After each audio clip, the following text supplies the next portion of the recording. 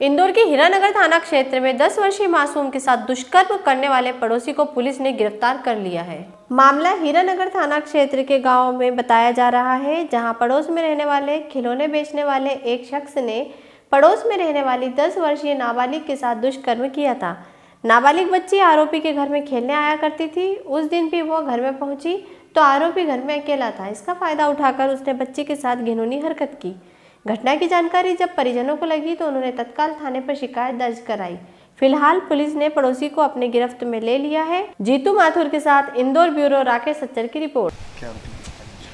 आ, ये थाना हीरानगर क्षेत्र क्षेत्र के अंतर्गत एक वारदात हुई है।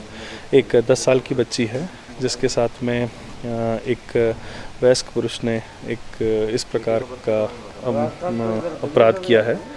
वो बच्ची अपने दोस्त के साथ खेलती थी। बताया जा रहा है कि वो छोटा जो बच्चा है, उसके दोस्त का पिता है।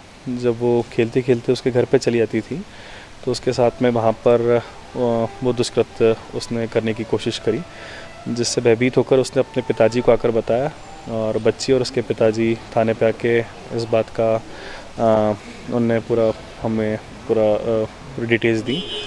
जिसके चलते हमने थाना पे तीन सौ छिहत्तर और पॉक्सो एक्ट के तहत हमने अपराध पंजीबद्ध किया है और अपराधी भी जो है, वो आरोपी, वो हमारी गिरफ्त में हेलो फ्रेंड्स आप देख रहे हैं हमारा channel S W twenty four news हमारे सारे वीडियो सबसे पहले देखने के लिए आप हमारे चैनल को सब्सक्राइब करें और पास में लगे बेल आइकन को दबाना बिल्कुल भी ना भूलें।